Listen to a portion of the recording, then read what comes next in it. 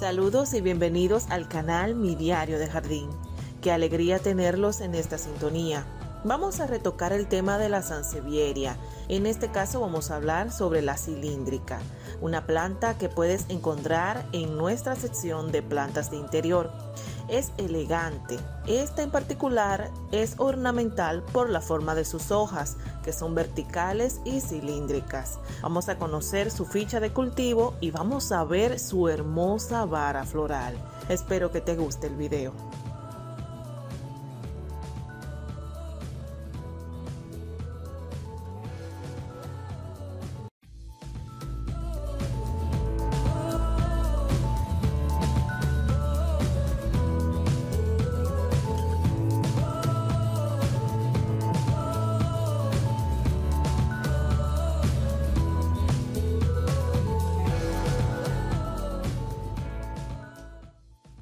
La planta conocida como sansevieria es ornamental. Se busca mucho como planta de interior para decorar diversos lugares de nuestras casas. Esta planta tiene forma de abanico. Puede verse muy exótica en diferentes estantes u balcones o terrazas. Las flores es lo que más me ha cautivado. Se conoce como Sansevieria cilíndrica, es un nombre común. También se le conoce como lanza africana, espada San Jorge, lengua de suegra. Pertenece a la familia Liliacia. Es del género de más de 130 especies. Tengo varios ejemplares y los he mostrado en el canal Mi Diario de Jardín. Si quieres saber sobre las otras sansevierias, déjame tu pregunta en los comentarios.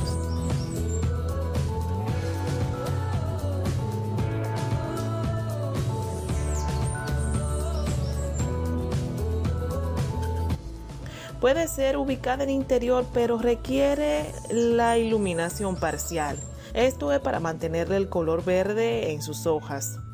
La puedes encontrar en las tiendas como Sansevieria cilíndrica o Spaghetti Velvet Touch. Es una de las plantas más resistentes que existe. Sabes que la sansevieria tienen tonos en sus hojas bastante hermosos, pero esta es muy reconocida por la forma cilíndrica y los tallos rectos que tiene. La puedes colocar en una maceta de cerámica en una parte en el jardín y se vería espectacular.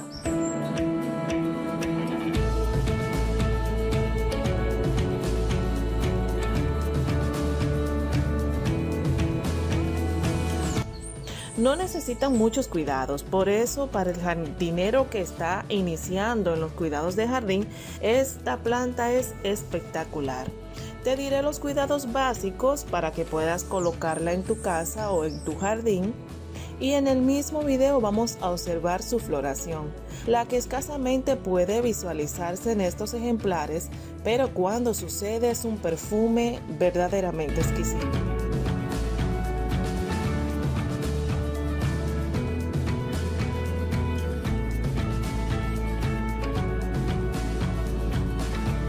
La sansevieria es una planta suculenta, por ello vamos a determinar sus exigencias partiendo desde allí. Vamos a hablar sobre la iluminación, el sustrato, el riego, los cuales son cuidados sencillos, iniciando por la razón de que se entiende que es semicrasa. Vamos a hablar sobre el cultivo.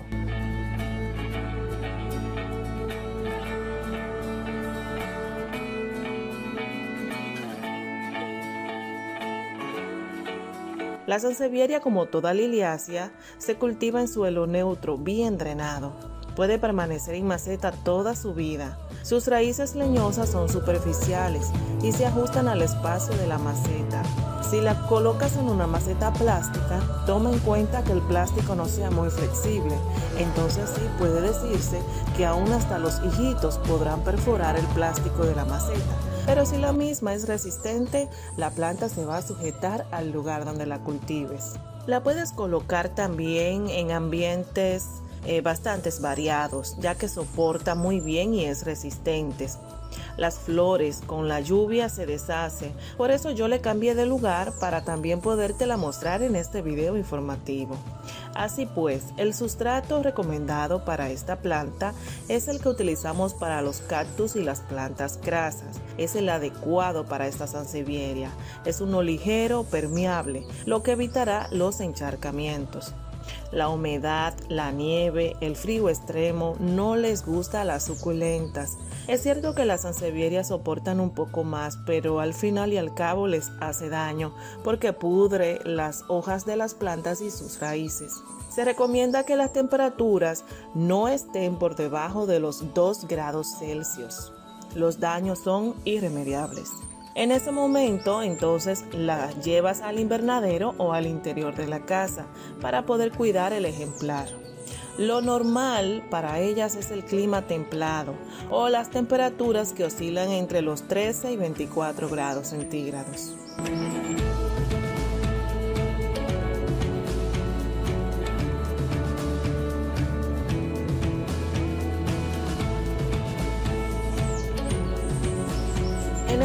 Se ha recibido muchos daños a causa del clima en el área del jardín.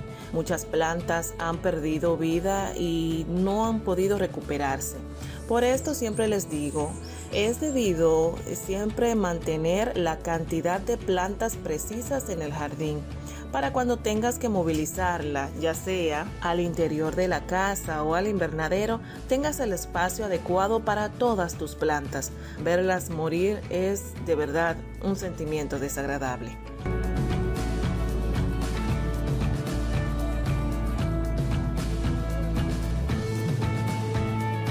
¿Dónde puedes ubicar esta sansevieria? Aunque ya te he dicho que es bastante resistente y que puede sobrevivir con poca luz, también debo decirte de que si quieres colocarla en una oficina o en un ambiente de interior, esta planta es adecuada porque puede resistir a todos los ambientes. Aunque le perjudique las bajas temperaturas en invierno, tiene un sentido grande de adaptación y por los pocos cuidados que requiere el mantenerlas. Pero la iluminación para ella es importante. Para toda planta, la iluminación parcial es importante. Por esto, te tengo que decir que debes utilizar lo que es la rotación. Se conoce como el sistema del que tú puedes administrarte para colocar plantas en el interior de casas u oficinas, dándole cierto tiempo a cada una de ellas para colocarlas nuevamente en el jardín en el exterior.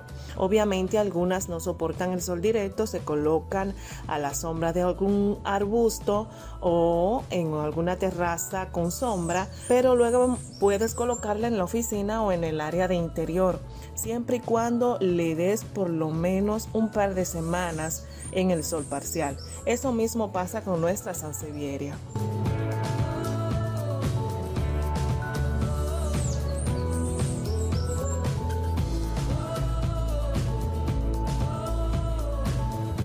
Esta hermosísima planta, mi sorpresa fue su floración.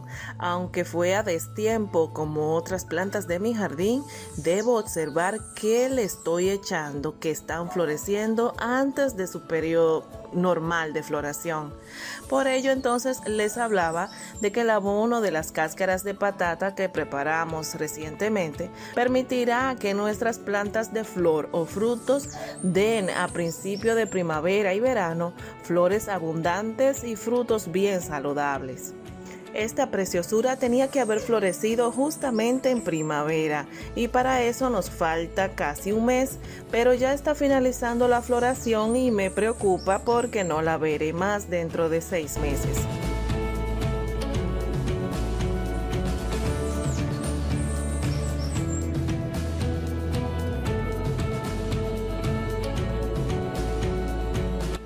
Como les dije al principio, esta planta no requiere un abonado regular para mantener su porte y su buen desarrollo, pero le puedes colocar el abono para suculentas principalmente en verano. El riego que le vamos a dar a nuestra planta es regular solo cuando esté muy seco el sustrato y debes notar que la maceta donde le hayas colocado drene bastante bien no requiere poda. Si le llegas a cortar una de sus ramas, colócala nuevamente en sustrato y en macetas separadas porque esto se convierte en una nueva sansevieria cilíndrica.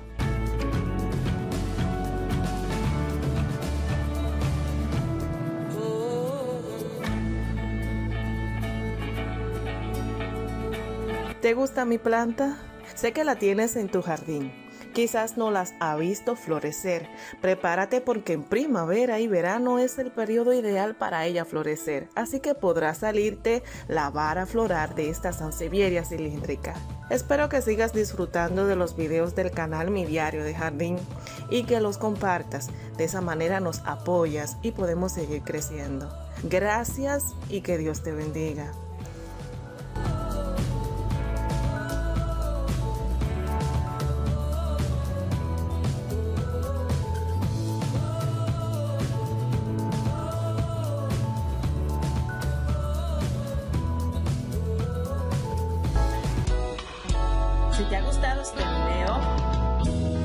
Dale like, suscríbete y clipa la campanita para recibir más videos como este.